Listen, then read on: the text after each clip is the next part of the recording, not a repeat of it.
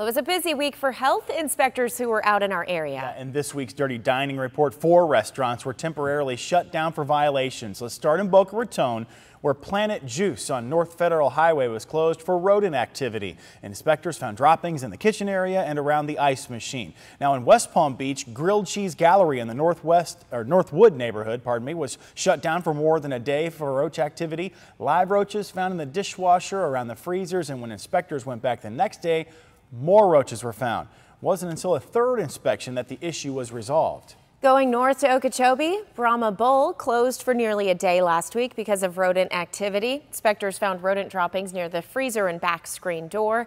And in Sebastian, Krabby Bill's was also shut down for rodent activity. Droppings were found in that kitchen and store area, according to the inspection report, and all of the restaurants have since reopened.